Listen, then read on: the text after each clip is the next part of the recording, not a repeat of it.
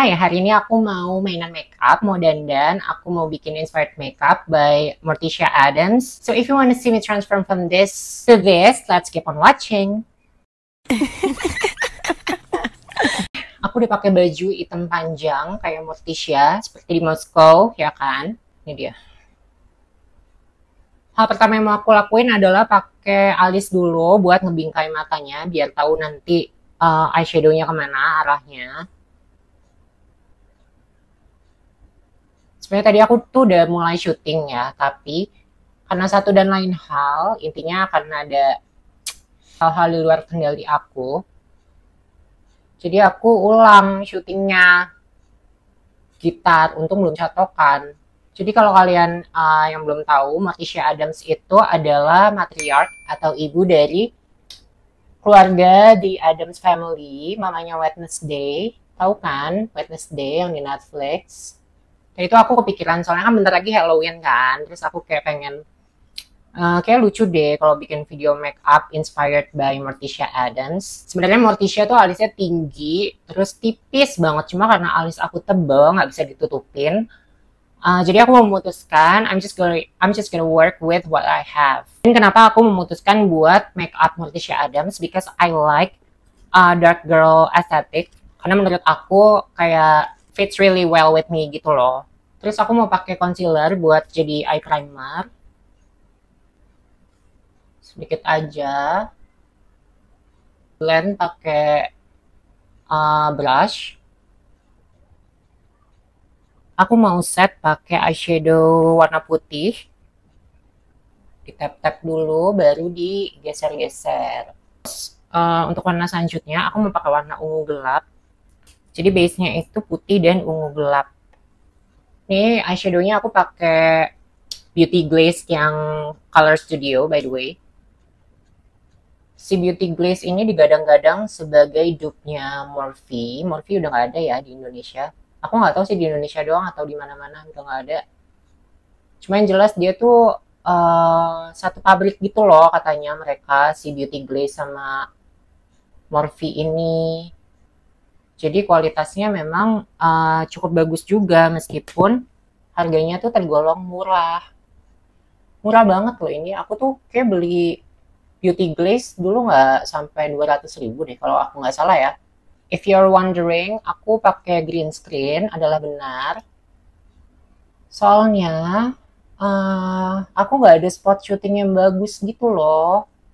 Kamar aku lagi berantakan banget dan aku males beberes. Jadi kita tutupi saja pakai green screen. Aku agak nyesel sih baru bikin video ini sekarang. Mestinya tuh kemarin ya sebelum aku potong rambut. Soalnya Morticia kan rambutnya panjang banget kan. Terus baru kepikiran sekarang setelah rambut aku udah pendek. Oh ya kalau kalian belum nonton uh, video aku potong rambut, bisa dicek abis nonton ini. Dibantu like, comment, dan subscribe-nya. Morticia tuh gimana lagi sih? Intinya smoky eye aja kan. Uh, terus aku mau tambahin eyeshadow hitam buat di outer cornernya buat bikin smoky eyes. Outer corner inilah yang tadi membuat aku gagal di syuting yang pertama. Kalau kurang nanti kita build up aja. Sebenarnya si Morticia ini tuh makeupnya simple aja sih, nggak yang gimana-gimana. Dan gampang ditiruin sama pemula juga. Karena dia nggak perlu yang uh, snatch rapi banget gitu Cuma kuncinya dari makeupnya uh, Morticia adalah semuanya matte, nggak ada yang uh, glitter atau shimmer gitu. Terus pucat seada-adanya. Uh, nggak uh, boleh kayak ada kehidupan sedikit pun di muka kita gitu.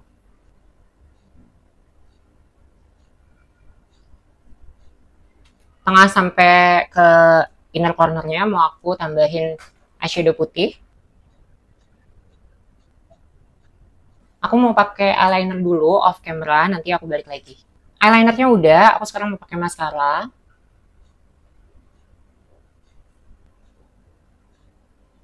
Dikit aja karena aku mau pakai bulu mata palsu. Cuma aku tuh kalau pakai bulu mata palsu biasanya aku fokus di outer area.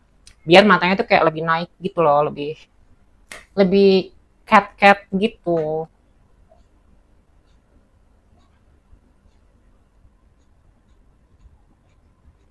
Kalau lo OCD mau ditutupin eyeliner lagi bagian lemnya nggak apa-apa banget. Cuma uh, kayak gue males ya nggak usah. Ini tadi ada yang kena mascara ternyata. Matanya udah, belum sih, nanti lanjut lagi. Cuma sekarang kita ke complexionnya dulu. Oke, okay, foundation. Aku pakai foundationnya tuh agak tebel gitu, beberapa pump.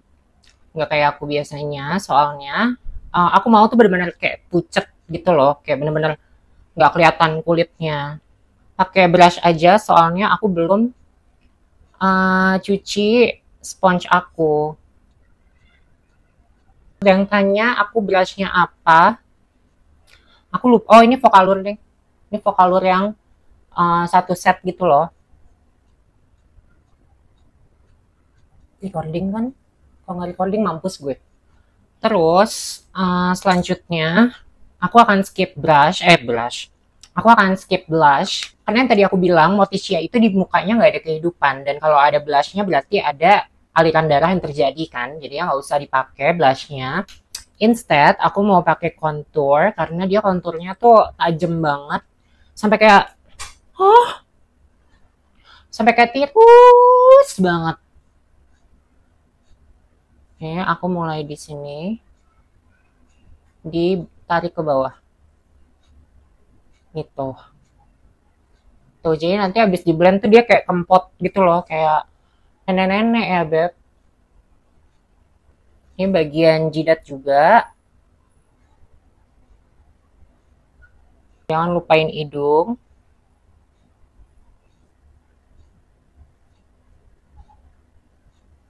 blend lagi pakai kuas. Blendnya ke arah atas. Tuh kelihatan nggak? Jadi itu kayak kurus banget.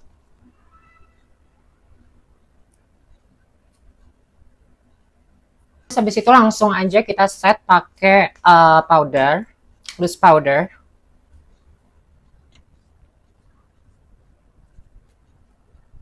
Terus mau aku bake dulu biar biur, nggak deng. Biar uh, nanti jadinya tuh matte banget gitu. Soalnya si Morticia kan kayak udah mati ya, jadi nggak mungkin punya minyak alami di wajah gitu. Harus didiemin dulu. Jangan lupa minum dulu guys. Sekiranya udah beberapa menit, ini aku ratain bedaknya. Terus balik lagi ke mata, aku mau pakai uh, eyeliner di bawah mata. Pakai eyeliner pensil aja. Terus di smudge sedikit pakai uh, brush, tambahin si warna ungu yang di atas tadi sedikit.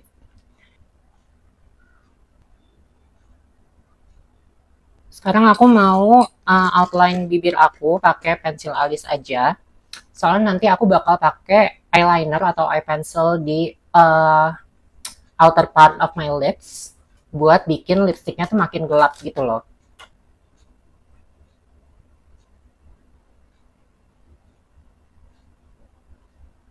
Terus uh, bagian luar bibirnya aku mau pakai NYX Jumbo Eye Pencil yang warna hitam. kayaknya susah aku pakai liner aja deh ini soalnya aku tuh nggak punya rautan yang besar hilang. Aku pakai eyeliner tadi aja yang makeover.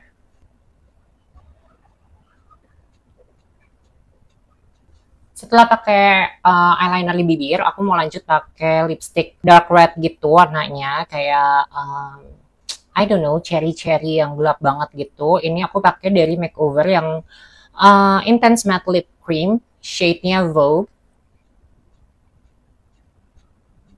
Kini mukanya udah selesai. Terus sekarang giliran rambut. Aku mau catok rambutnya sampai dia benar-benar jadi lurus banget. Pakai heat protectant. Ini aku pakai dari Tresemme.